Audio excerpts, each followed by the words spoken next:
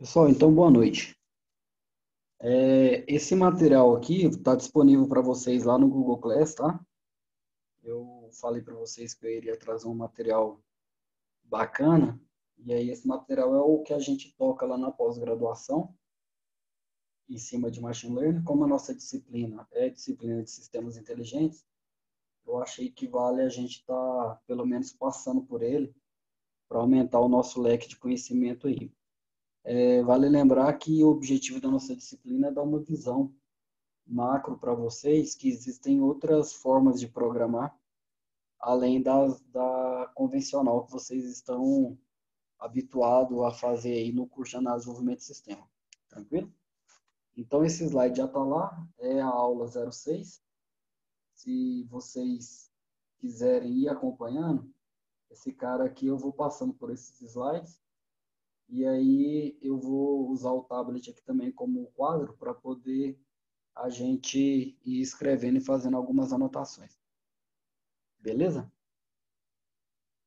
É, seguinte, é, o conteúdo nosso hoje vai ser em cima de introdução do que é uma Machine Learning, regressão logística, linear e não linear, a regra dos KNN, é, classificadores bayesianos, redes neurais, classificação de suporte vector machine, que a gente chama de SVM, falar um pouco sobre Ensemble e Deep Learning e visualização de dados. É, isso tudo não é hoje não, tá? Isso daí é o que está programado aí, esse slide. A gente vai gastar aí umas quatro ou cinco aulas para percorrer esse slide todo aqui, tá bom? Lá no material também do, do Classroom, eu disponibilizei aqui para vocês, aqui nessa aula 6, alguns arquivos em Python, tá? Para a gente estar tá rodando e mostrando para vocês a execução de alguns contextos aí de Machine Learning. Ok? Então, esse é o conteúdo que nós vamos estar tá trabalhando. No conteúdo programático, o próximo slide vem já sobre um pouco da introdução sobre como que nós estamos hoje, né? É... Eu não sei se eu devo fazer essa introdução ou se a gente já pode pular ela, uma vez que estamos já falando de, de machine learning já há algum tempo, né? Desde, a, desde o início do semestre, né? Então talvez eu possa dar uma pulada nesses caras aqui. Mas de maneira bem, bem breve, para não se aprofundar, o momento que nós estamos hoje é um momento de muita, de muita informação, é um momento de é, big data. Muitos entendem como uma solução, muitas pessoas entendem como um problema, né?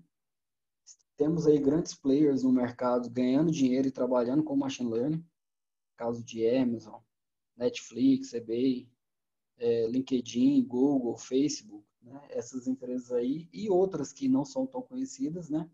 Já estão aí já dominando uma parte aí de, de machine learning. E aí quando você agrega a IoT no meio do caminho, aí a brincadeira fica melhor ainda, né? Então essas empresas aí elas estão é, bem em cima disso daí. A vantagem de trabalhar com, com essas vertentes é uma redução considerável do custo empresarial para manter um negócio é, você consegue ter uma disponibilização de recursos e de serviços mais rápidos. Hoje vocês são consumidores desse recurso, quando você põe uma aplicação na nuvem, quando você consegue programar com Angular mais rápido, quando você tem uma IDE mais robusta, quando você tem uma placa de vídeo melhor, tudo isso daí são efeitos, né, dessa melhoria aí que essas, é, essas empresas trouxeram e redução né, do tempo da tarefa computacional de maneira bem, bem, bem considerável, né? Uma vez que faz, podemos fazer uso aí da placa de vídeo para ajudar no processamento e clusterizar a, algumas situações. Essa parte da, da placa de vídeo eu demonstrei na aula passada, né? Como que fica então a nossa área de inteligência artificial? Hoje ela é dividida em seis grandes em seis grandes outras áreas, tá? Nós temos aí o processamento de linguagem natural, que é o quê? Que é você conversar com a máquina, né? Você conseguir falar com a máquina e a máquina conseguir entender o que você está falando e após isso daí ela dá algum sentido para a sua solicitação. Então nós chamamos isso daí de linguagem natural, quando você começa a trazer para a máquina esse tipo de, de, de, inteligência, vamos dizer assim.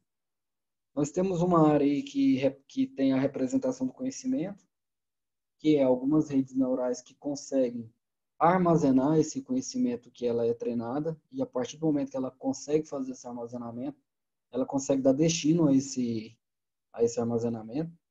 Nós temos aí raciocínio automatizado, aprendizagem de máquina, visão computacional, que é o que está bombando aí no mercado, e a parte de robótica, né? Essas seis disciplinas, elas estão condensadas dentro dessas três áreas aí desse gráfico, mais à esquerda, à direita nossa aqui. É, você vai ter aí a parte azulzinha, que é a inteligência artificial como um todo, é a macro área, é a área que dentro dela concentra tudo. Dentro da inteligência artificial, você tem outros tipos de inteligência, mas especificamente nós estamos focados no machine learning, que é o aprendizagem de máquina.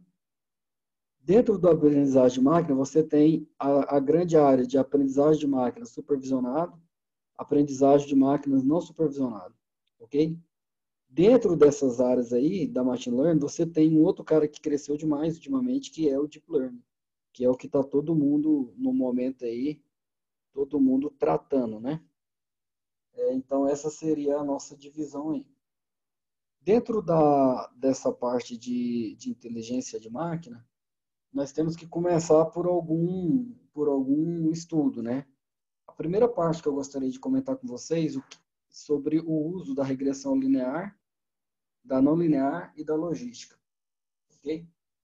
É, essas funções de regressão são funções matemáticas, você não consegue trabalhar em cima de uma de uma machine learning sem você ter aspectos matemáticos, sem você ter aspectos de estatística.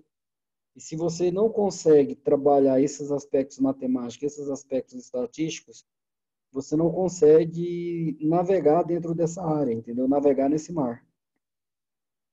Porque tudo na, na, na linguagem de programação para machine learning, tudo ela é baseado em cima de uma função.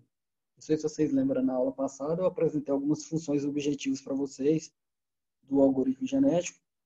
Coloquei uma execução para mostrar para vocês como que ele fazia a interpretação de chegar, sair de um texto e conseguir ir para outro texto e, decodificar esse texto para vocês. Se vocês observarem, lá vai ter uma função matemática. Entendeu? Essa função matemática é o que orienta a, o seu algoritmo tanto orienta de maneira legal, né, maneira boa, quanto pode orientar de maneira não tão, não tão legal.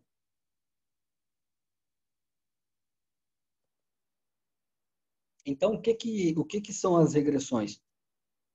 Ela tem por objetivo dar um tratamento a um valor matemático que você não consegue estimar inicialmente. Se você partir do zero, você fala assim, poxa, mas que número que eu posso chutar aqui? qual que seria o valor médio disso daqui? Qual que seria o valor ideal para eu começar a trabalhar? Quando você não consegue fazer essa, essa estimativa inicial, você pode tentar, com base em algumas informações que você já tem, você conseguir não partir do zero, entendeu? Então, quando a gente fala de regressão linear, é porque dentro das regressões tem várias: a linear, a não linear e a logística. A regressão linear é porque a função matemática que você vai utilizar para chegar nessa variável que você não consegue estimar inicialmente é uma função de primeiro grau. Ela é linear, entendeu? É no estilo y igual a x mais b. Aquela que a gente estudou lá na matemática que vai dar um gráfico de reta. Beleza? Por outro lado, a não linear é uma forma de análise de regressão em que os dados que nós estamos observando ela é uma combinação não linear, ok? Ela vai te dar uma parábola. Então, os dados são ajustados por um método de aproximações sucessivas. Então, quando você vai aproximando sucessivamente um após o outro, novamente, em vez de você somar, você está aumentando o grau de exponencialidade dessa função. Então, ela estaria com base em y igual a x ao quadrado, por exemplo. Ok? Então, você não teria um linear. Se você plotar isso daí em um gráfico, você vai ter dentro dela uh, um gráfico de segundo grau, no mínimo. Ok? Que ela é não linear. É, só um minutinho, pessoal. Deixa eu só fazer um atendimento à, à ligação aqui. Só, só um segundo. Eu estou esperando uma, uma, uma entrega. E aí. Beleza, então, é, continuando aqui. A função linear, ela é um gráfico de primeiro grau, é uma função de primeiro grau. A não linear é uma função diferente disso, tá? Que não é de primeiro grau.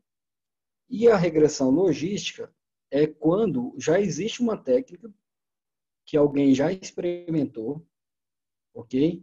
Que ele já caracterizou aqui dali, ele já categorizou, ok? E frequentemente ele consegue trabalhar em cima de algumas variáveis e você já vai poder é, simular um comportamento. Você já sabe mais ou menos qual daquelas funções ali elas conseguem fazer com base em um parâmetro de intervalo de tempo entre um, um entre um ponto e outro ponto, a função, a regressão logística, ela consegue navegar entre esses pontos, ok?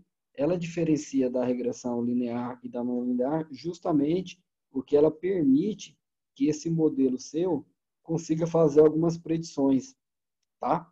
Porque como você determina um intervalo e você sabe as variáveis que você está trabalhando, você consegue predizer qual seria o próximo valor da variável. Então, esse é o caso da regressão logística, tá?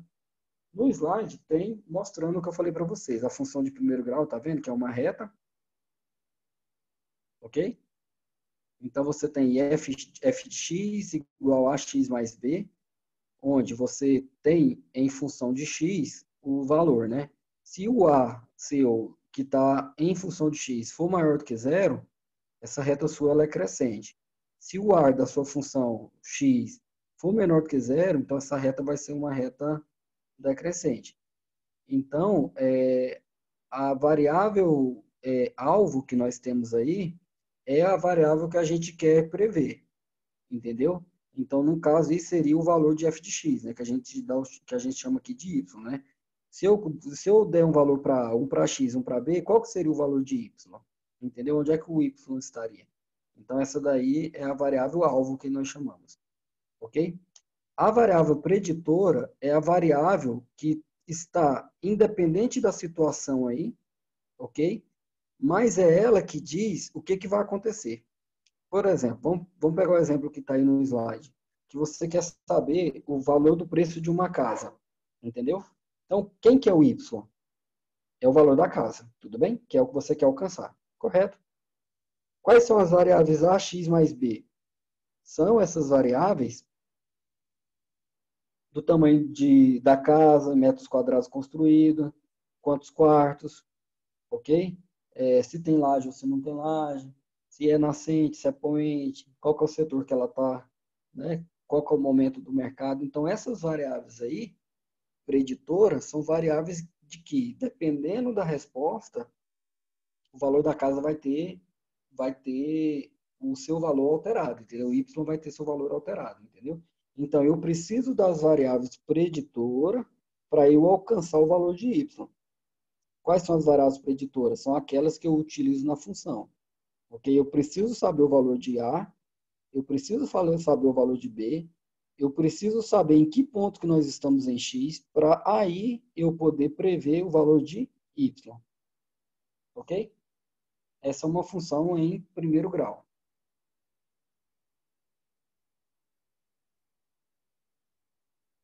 E aí, para trabalhar com essa função em primeiro grau, é, já existem alguns métodos matemáticos que você pode fazer. É, não sei se vocês já viram, se vocês já fizeram curso de Excel, mas o Excel te dá algumas, algumas valores para teste de significância. Entendeu? Então, existe um, um, teste chamado teste F, que nós chamamos de teste é, de significância global. Então, o que, que acontece?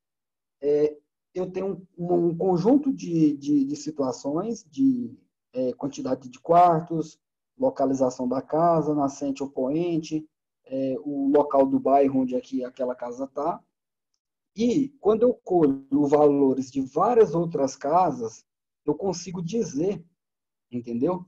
Se esses valores estão ou não estão condizendo, entendeu? Se existe ou não existe uma relação dela com todas essas variáveis. Ok? Se eu achar que esse valor for menor que 0,05, então significa que aquela variável ela influencia no valor da casa. Se der maior do que 0,0.5, então aquele valor ali é, um, é uma variável que para mim é insignificante. Entendeu? Por exemplo, vamos supor que tivesse uma variável na casa, se ela tem área de churrasco ou se ela não tem área de churrasco. Ok? Essa variável, você pode saber se ela é significante ou não para o valor da casa. Se você fizer esse teste de significância e esse valor para ela alterar e der menor que 0,05, é significante. Se der maior do que isso, você pode ignorar que não vai fazer diferença nenhuma para a estatística do valor da casa. Entendeu? Então, esses testes de significância, ele é muito comum para uma relação de números que você já tem. Você tem uma sequência de valor, você está observando quanto tempo quanto tempo gasta para poder subir uma aplicação no Java no, no, seu, na sua IDE aí. Aí você vai monitorar. Uma hora gasta um minuto, um minuto vírgula dois, um minuto e três, um minuto e quatro, um minuto e cinco. Você tem várias sequências de aqui dali. Você pode selecionar esses valores e fazer o teste de significância nele. Se tiver algum valor ali no meio que não está condizendo com a verdade, ok? Esse valor deve ser ignorado.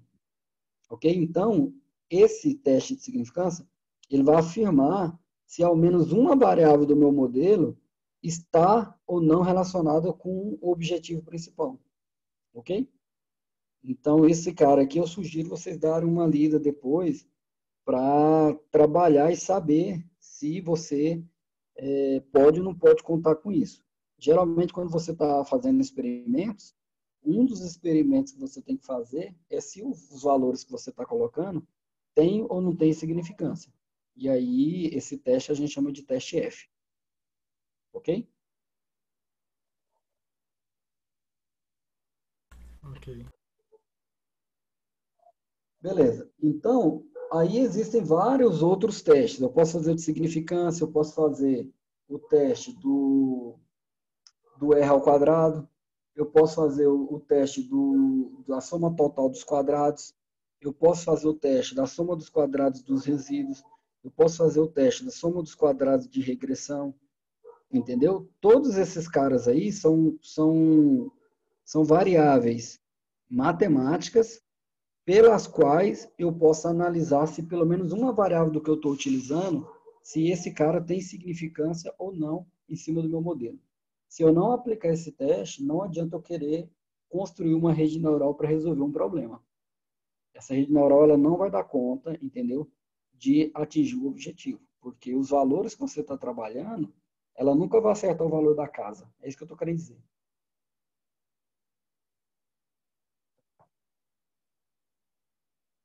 Beleza.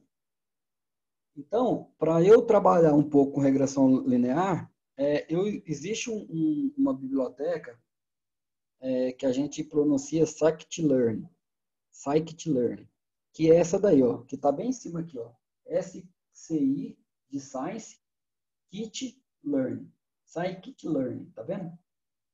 E dentro dela, ela já traz um conjunto de variáveis para você brincar, de, de valores, de estatístico, chamado esses stats módulos aqui. Entendeu? Então, esses stats módulos, junto com esse cara aqui, eu posso, posso brincar com ele. Então, primeiramente, nós faremos uma análise do nosso modelo com status módulos, para poder dizer se o modelo nosso está legal. Depois iremos fazer a mesma coisa, só que agora aplicando a biblioteca scikit-learn. Ok? Antes de mais nada, o scikit-learn e o status models, o que, que são? é, é uma biblioteca, esse primeiro aqui, de Machine Learning para Python. Já vem uma série dessas coisas que eu estou falando para vocês, já vem implementada aqui dentro. Ela tem algoritmos para regressão linear, logística, para regressão não linear. Ela tem algoritmos aqui dentro dessa, dessa, dessa biblioteca scikit-learn, ela tem é, algoritmos também para redes neurais, ok? O Stats Models, ele já é mais focado em uma ferramenta de, de estatística, ok? Então, o que você tem de processamento numérico e estatístico, ele vai estar tá dentro dessa biblioteca Stats Model, ok? A Scikit-Learn também tem dentro dela modelos estatísticos, entendeu? Mas a Stats Models não tem dentro dela os modelos para Machine Learning. Ok? Certinho? Certinho. Beleza. Então, como que eu estou criando o algoritmo aqui? Eu coloquei no slide aí, ó.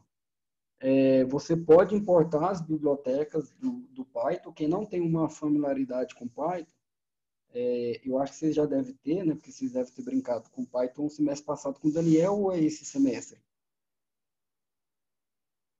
Foi semestre passado, graças a Deus. Isso.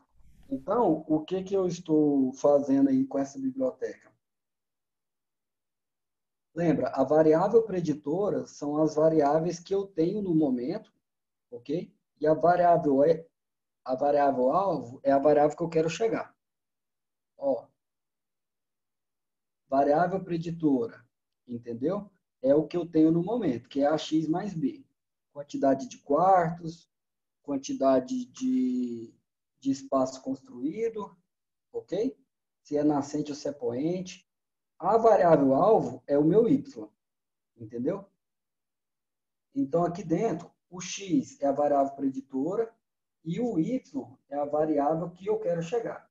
Então, eu passei para ele aqui, ó, 220, 220, 220, 220, 220, 255, 225, 225, 225, depois 230, depois 235, ok?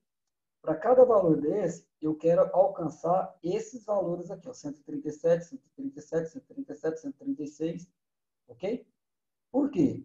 Porque no final que ele treinar em cima desse modelo, eu tenho que conseguir adivinhar o próximo. Porque se existir uma relação, se existir uma relação entre o x e o y, não é isso que a gente está tentando descobrir? Se existe uma relação, por exemplo, vamos supor que a nascente opoente valoriza a casa em 20%. Ou seja, existe uma relação, né?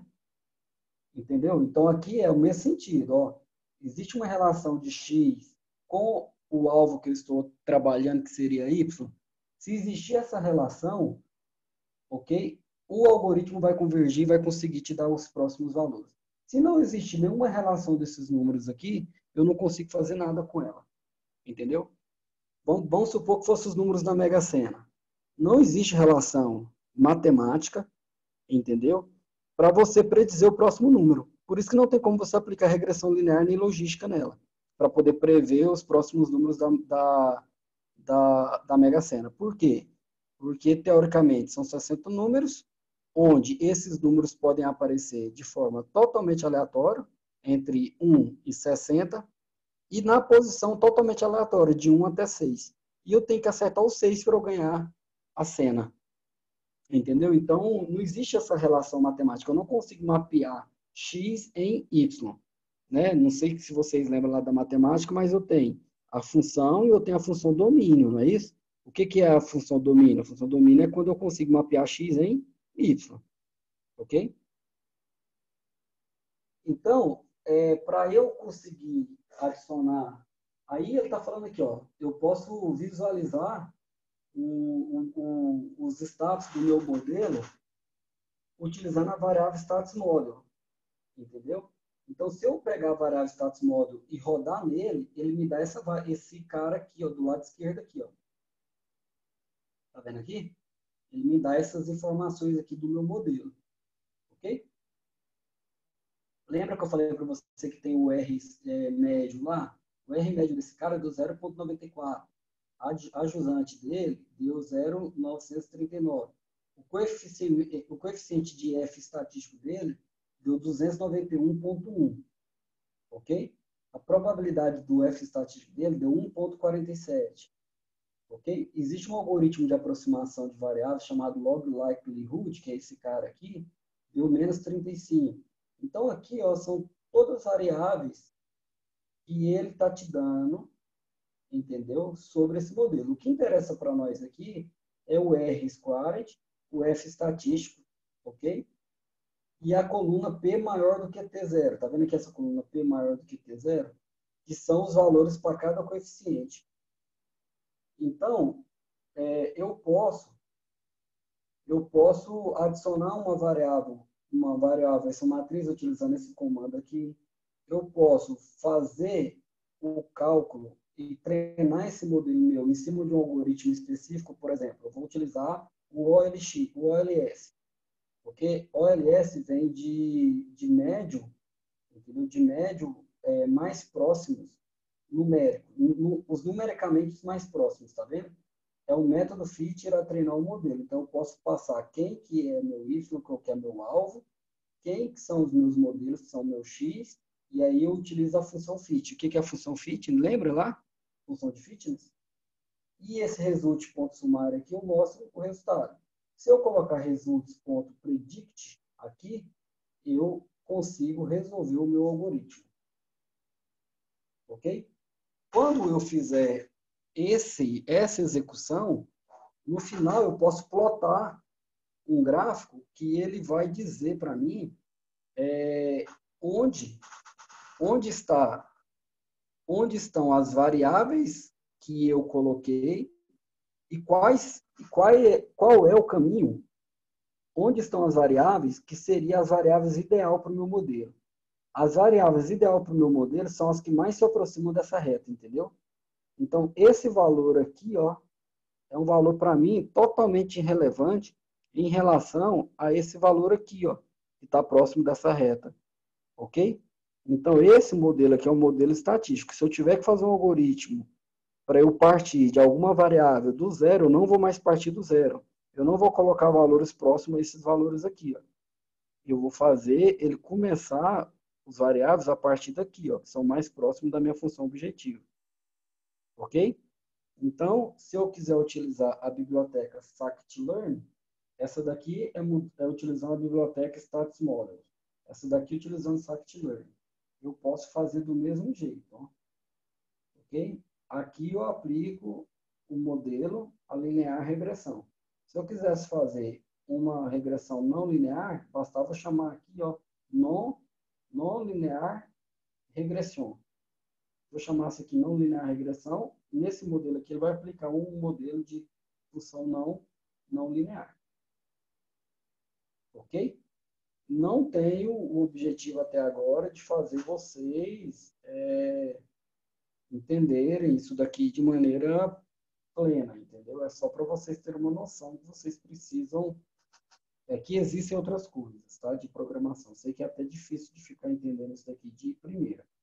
É, existe dentro do Python alguns conjuntos, alguns datasets já padrão para você ficar brincando, ok?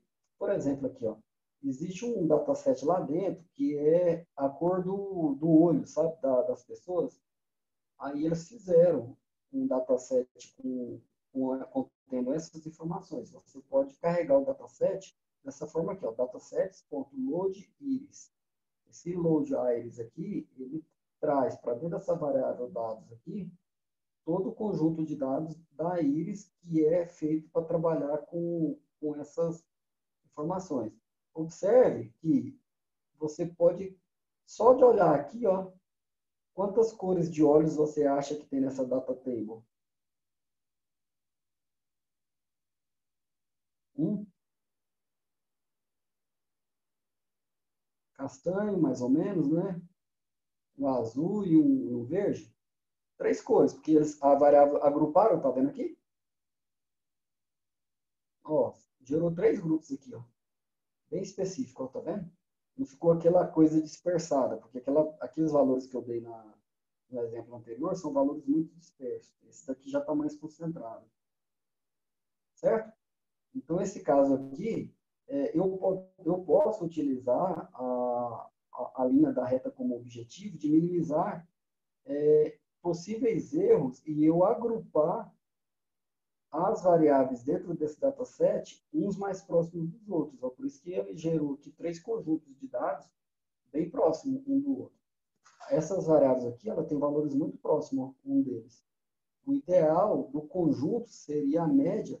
Se eu pegar esses caras aqui mais esses caras aqui tirar uma média, o valor seria aqui, ó, valor ideal.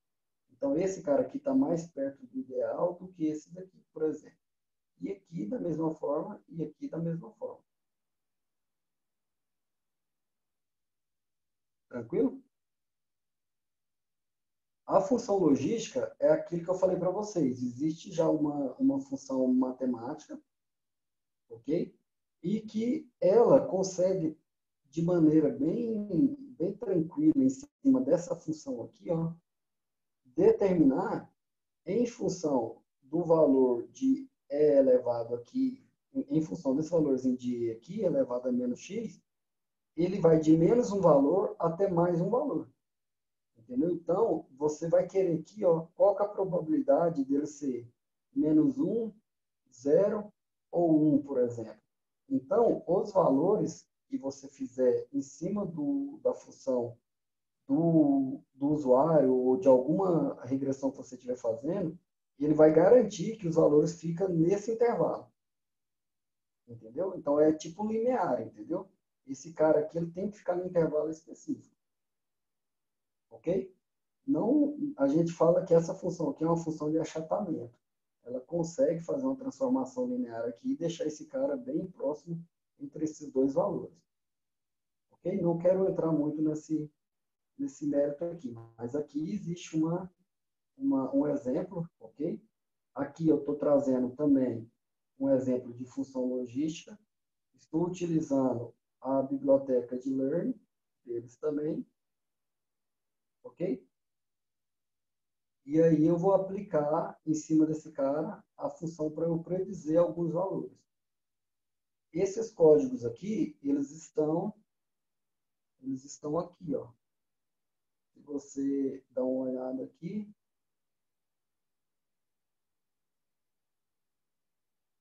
Não, esses eu não coloquei, né? Faltou subir aqui. Mas no próximo, mas manipulando o gráfico PNN vai ter. Tá? Esse cara aqui é mais é matemático. Se por acaso vocês quiserem depois, a gente pode fazer uma aula de matemática em cima desses conceitos de machine learning, tá? Que é a parte de ciência de dados. Tá? Tudo bem? Beleza. Beleza. Aí existe um algoritmo da, de machine learning muito famoso chamado KNN. Ok? O KNN, a tradução dele é essa daí, ó, K, Nearest Neighbor, é, Neighbor, né, nesse caso. É os, é os K vizinhos mais próximos, ok? Por exemplo, vamos supor que eu tivesse que agrupar os alunos da sala em cinco grupos, ok? Então, qual que é o meu tamanho do meu K? 5. Então, já defini, eu tenho que definir. K, o tamanho dele é 5. Então, quantos grupos vão sair? Não sei. Mas o agrupamento tem que ter exatamente cinco pessoas. Não vai ter seis e nem vai ter quatro. Vão ter cinco pessoas. Então, o algoritmo KNN ele é um algoritmo de clusterização, ele é um algoritmo de agrupamento. Como que eu posso aplicar isso daqui? Você pode aplicar isso em balanceador de carga. Então, assim, todas as requisições que tem mais perfil de ser processado na máquina 1, ela vai ser agrupada para ser processado na máquina 1. Entendeu? Você tem a, como aplicar isso daqui. É, eu quero delimitar no conjunto de pessoas do Facebook do, do nosso colega Igor, quais são os amigos dele mais próximos, os 10 amigos mais próximos. Então, eu estou agrupando. Então, eu posso aplicar esse algoritmo lá também. O que, que eu vou fazer com esse agrupamento? Não sei. Vai depender do meu objetivo. É, talvez não, não retorne nada, viu, professor? Não retorne nada, né? É. Mas vamos supor que pega os seus três melhores amigos da sala de aula. Entendeu? Ah, Vocês... tá. aí, aí, aí deve retornar. Isso. Aí o que, que acontece? Em cima disso daí, eu posso é, dizer. Ó, vou dar um exemplo bem prático para vocês eu tava, é, eu vi que o nosso colega lá, eu acho que é o, o, o Adson, o Axon, ele tinha comprado um teclado, ok? E eu estava precisando de um teclado, mouse teclado sem fio. E aí eu cheguei nele e perguntei, onde é que você comprou, tal, gostei, papapá, quanto que foi? E aí ele pegou e me indicou e eu acabei comprando um teclado. Mas eu posso criar um algoritmo que fique toda hora sugerindo coisas para uma pessoa, porque o amigo dela mais próximo também comprou, entendeu? É, isso é um, algoritmo fácil de, de recomendação, muito utilizado. Eles erram muito, mas num, num, volume de 100 pessoas, se ela acertar 10, tá bom, não é não?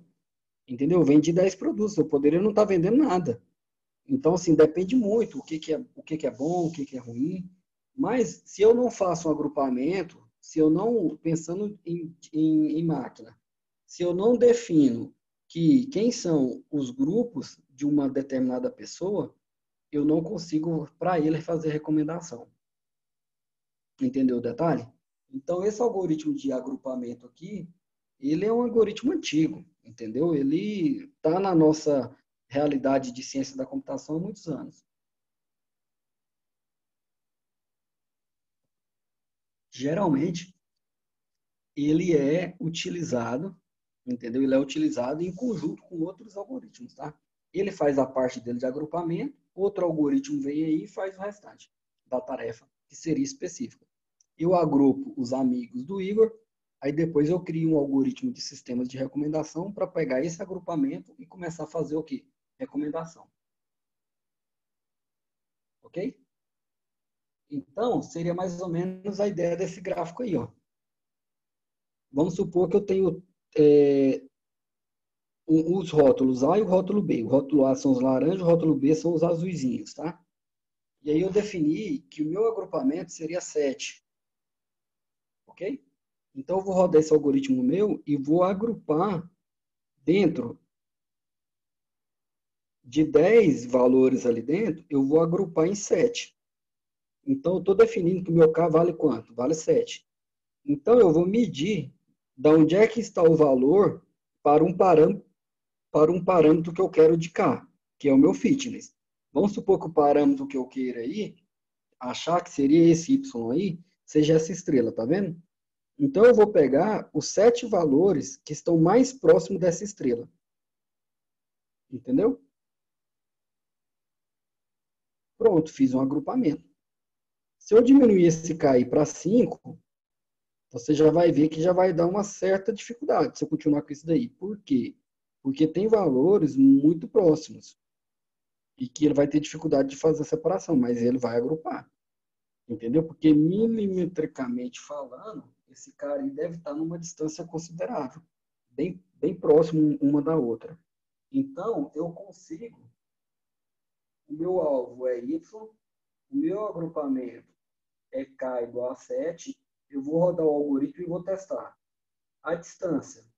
Aqui, ó, no finalzinho aqui embaixo, aqui embaixo é o meu ponto 00.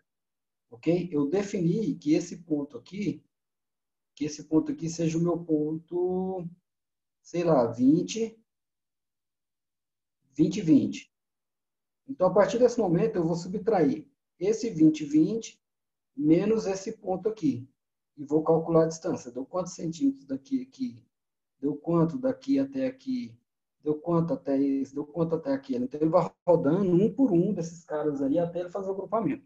Geralmente, algoritmos de agrupamento, ele tem um custo computacional um pouquinho mais alto, porque ele tem que percorrer todos os indivíduos dentro do meu teste. Nesse caso que eu estou falando de 10 indivíduos, ele tem que testar quantos para saber? os sete primeiros que ele encontrar, no mínimo. Ele não precisa testar os 10, mas ele vai ter que testar pelo menos a quantidade de agrupamento que eu acabei de falar, que são sete. Então, essa é a ideia do meu algoritmo de KNN.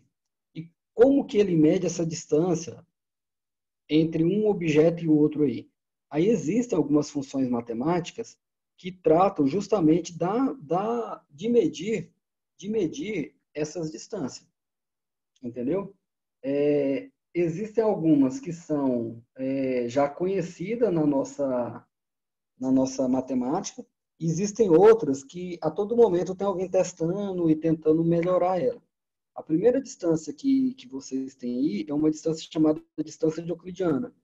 Ele pega o primeiro ponto menos o segundo ponto eleva ao quadrado, mais, entendeu? O segundo ponto menos o valor do segundo ponto e eleva ao quadrado, mais o terceiro menos o terceiro no ponto eleva ao quadrado. No final, ele tira a raiz quadrada disso. Então, a distância que ficar dentro desse, desses caras aqui vai ser o valor relacionado àquele cara com o indivíduo que ele está testando. Então, aqui eu tenho que testar o meu, eu tenho que testar o ponto inicial, que seria a estrela, ok? Menos o ponto, esse ponto aqui. E vou tirar a raiz quadrada dele e vou armazenar. Esse seria o valor para quem? Esse seria o valor para essa, para essa, pontinha, para essa bolinha laranja aqui. Aí eu vou fazer o mesmo para esse cara aqui. No final, eu tenho fitness de todo mundo. A distância euclidiana desse cara é o meu fitness. As sete menores é as que serão parte do meu quê? Do meu agrupamento. Ok? E aí existe essa distância aí, ó, de Minkovic, a distância de Chebyshev, é, Chebyshev, existe aquela que eu falei agora, que é de log likelihood, que é uma distância que faz, além dele fazer esse cálculo normal aqui, ele ainda usa estatística em cima dela, que nos meus testes ele é melhor do que a distância euclidiana. Existe a distância de Tanimoto, ok? Ah, cara, tem várias, entendeu? Tem várias distâncias aí. Beleza. Aí, qual que seria o valor ideal para o meu algoritmo em relação a esse K aí? Ok? Qual que seria o valor ideal em cima desse K? É algo que você pode chutar, pode ser 3, pode ser 4, pode ser 5, você chuta pela sua experiência. Eu, como professor, sei que não adianta colocar um grupo com mais de três pessoas, vai dar, vai dar bagunça, entendeu? Alguém vai ficar à toa. E eu também sei que não adianta ter um agrupamento de uma pessoa, porque senão não tem agrupamento, não faz sentido. Entendeu? Então esse K igual a 1 aí também não faz sentido. Entendeu? Mas será que K igual a 2 é eficiente? Será que K igual a 3 é melhor do que K igual a 2? Será que K igual a 4 é melhor do que K igual a 3? Que é melhor do que K, K igual a 2? Não sei. Então, até para a escolha do meu K, eu posso fazer algum algoritmo de otimização. Olha aí, quais são os algoritmos de otimização que a gente, que a gente viu? O da aula passada. Os algoritmos evolucionários, lembra? Então, eu posso, inclusive, utilizar um algoritmo genético só para ficar testando a qualidade dos meus agrupamentos. E assim ele vai determinar para aquele conjunto de dados qual que é meu qual que é meu agrupamento o quê? Perfeito. É óbvio que para isso eu vou gastar o quê? Mais processamento. Agora eu tenho um processamento para definir o valor de K, depois eu vou ter um outro algoritmo para poder fazer a clusterização. Ok? Esse IPSO aí ó, é, o, é, um algoritmo de, de enxame de abelhas, não sei se você lembra. Partículas Swarm, lembra? É esse cara aí. O UDE é o... Ah, cara, eu esqueci. Beleza? Mas dá para a gente estar tá trabalhando nisso. Esse cara ele é clicável, tá? Você pode clicar aí que ele vai, ou pelo menos zero. Aqui eu estou no, no, na apresentação de slide, né? Eu não sei se, se ele deixa. Entendiram até aqui, pessoal? Uhum. Beleza. Então, qual que é o pseudo código aí do KNN? É bem simples. Eu vou ter que ter um conjunto de entradas, tenho que me preparar para um conjunto de saídas, então tenho que armazenar uma variável para armazenar o conjunto de saída, que são os resultados dos meus clusters. Vou ter que informar o K, ou eu informo o K de maneira manual, ou eu informo o K de maneira que ele seja inteligente. E aí eu vou ter que calcular a distância de cada amostra, e em cada amostra eu vou guardar, armazenar dentro dela, ok? O, o valor dessa distância. E aí, no final, eu vou escolher a quantidade de, de, de vizinhos com base no K que eu acabei de falar e vou gerar vários, vários Ks. No caso de vocês da sala, eu posso gerar, sei lá, quatro grupos de três pessoas, ou quatro ou seis grupos de três pessoas, por exemplo. Entendeu? No final, vai, eu vou ter seis Ks nesse caso. Então, como é vídeo aula, eu estou passando, tá? Mas vocês possam, vocês podem interromper e fazer a pergunta, fica à vontade. Beleza, então, é, eu posso estar tá pegando aquela base de dados da literatura, como aquela da, da Iris, né? Ok? Ou então, uma base de dados do, dos cartões de crédito, dos processamentos de crédito da australianos aqui, ó. Eu tenho aqui, tá vendo? Ok?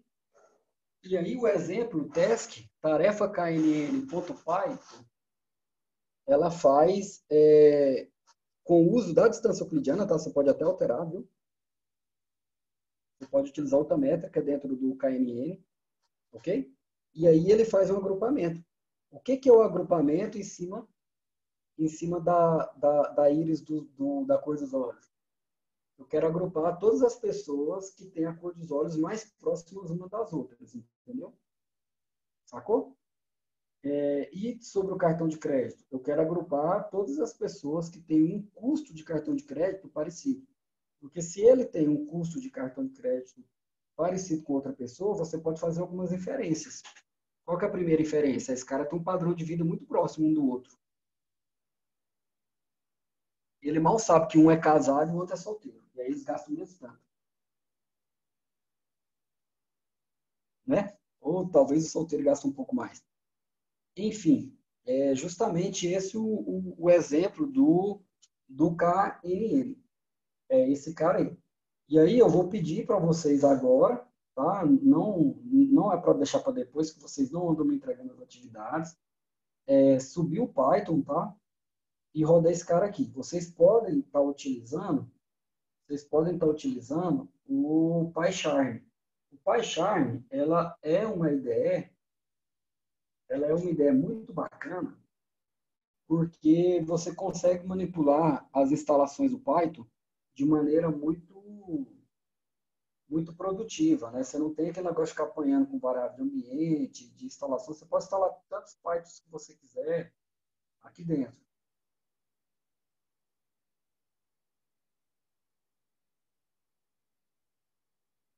Sem falar os ambientes que a gente já tem na nuvem, né? Então, deixa eu ver aqui se eu tenho alguma alguns exemplos aqui.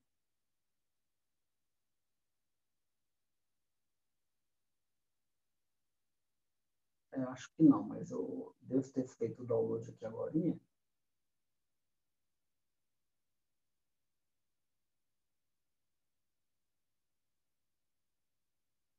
Esse cara aqui, ó. knn.python.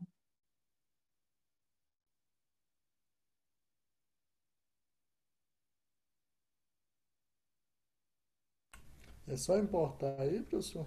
Já roda? Já, é só copiar e colar aqui. Python você apanha muito, entendeu? Mas ele é melhor do que algumas outras linguagens. Olha aqui como é que é o código. Vocês conseguem enxergar aí? Fácil? Sim, sim, dá para enxergar. Sim. Consegue. Deixa eu pôr o mouse aqui, que aí eu consigo dar um zoom aqui para vocês.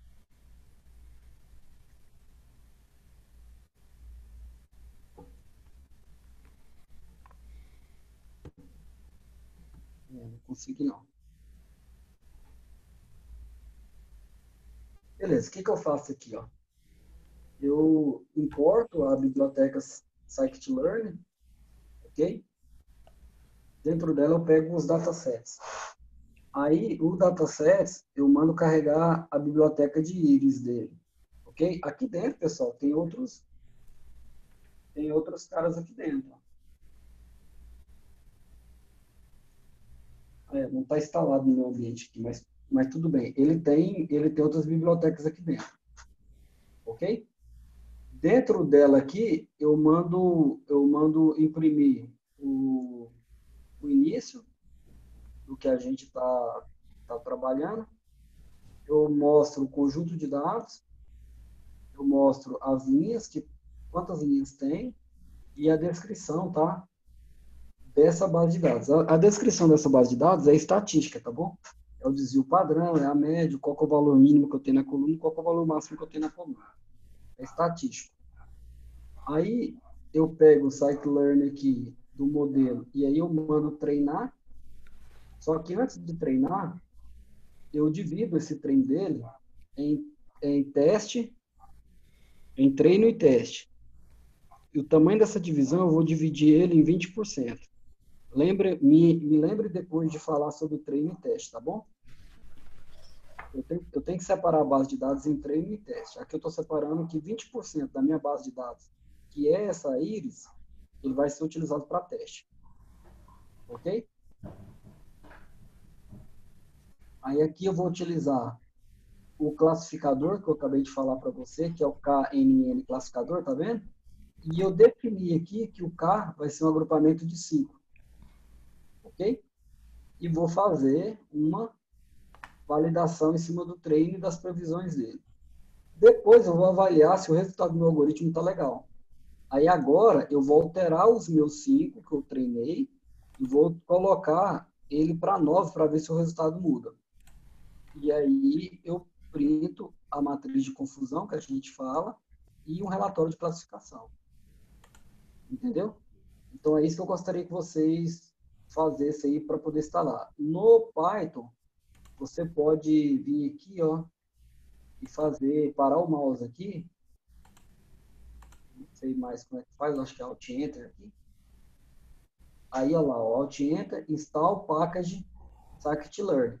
Ele vai instalar dentro do meu Python 3.6 aqui, ó. E é bem dinâmico, ó, eu não faço nada, ele já instala.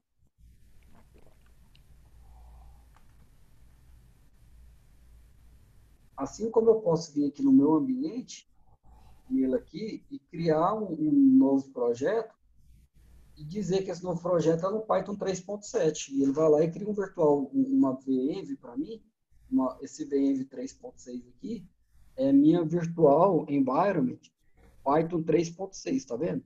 Tudo que eu instalar, ele vai armazenar aqui dentro, ó. Dentro de lib aqui. Por isso que funciona de maneira muito transparente, que na hora que eu quiser, eu só pego essa, essa variável de ambiente, levo para onde é que eu quiser, falo que o meu Python está aqui dentro, acabou. Ele já vai entender que esse cara aqui já tem essa, essa biblioteca. Ok? E aí, no meu caso, o meu ambiente está mais complexo aqui, porque tem TensorFlow, tem algumas coisas aqui de machine learning, tá? Mas ele vai, ele instala, depois ele vai, você vai poder instalar o package de dataset. Quando terminar aquilo, você vem aqui, instala o package de dataset, depois você vai vir aqui para instalar o Pandas, tá? que é uma biblioteca matemática, ok? Aí ele vai fazer esses, essas instalações aqui para você. Onde é que tiver permelinho, vai fazer essa instalação. Ok? Como agora é 8h22, é, eu gostaria que vocês fizessem isso enquanto o Luiz Mário não, não chama vocês. E baixa o Python e tal, começa a brincar com esse cara aí e monta esse ambiente para que a gente possa brincar mais vezes. Deixa o Python 2.7 instalado. Deixa o Python... Deixa eu ver quais Python que eu tenho aqui. É obrigado a colocar o PyCharm no computador, Djalma? Isso, é só instalar o PyCharm e ele já vai trazer algumas. Você instala o Python, pelo menos um, né? Instala o 3.7, que é o que está mais atual. Ok? Depois que você instalar o, o Python, aí, para você vir aqui configurar ele, é só clicar aqui, ó. Você clica aqui, tem show all ou ADD, né? Se eu mandar adicionar aqui, ele dá a possibilidade de eu trazer outros outros Python. Ok? Professor, ele, professor, ele não roda nenhum outro DE não? Ou é, esse aí vai bem melhor? Não, esse, esse, esse algoritmo aqui, ele roda em qualquer IDE Python que você quiser, entendeu? Só estou sugerindo o PyCharm, que ele organiza melhor a possibilidade de você trabalhar com Python. Ele, ele já trabalha sozinho internamente com Conda, ele trabalha com Pipe, com PipEnv, ele trabalha também com Virtual Env, e ele também trabalha com os interpretadores que você instala lá no Windows. Aqui, ó. É uma ideia bem completa, muito boa. Baseada na IntelliJ, né?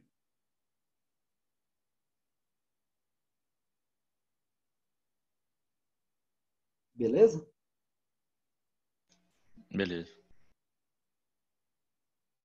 Pessoal, então, da minha parte, seria isso. Eu gostaria que vocês executassem esse cara aí. Esse cara, ele tem que funcionar.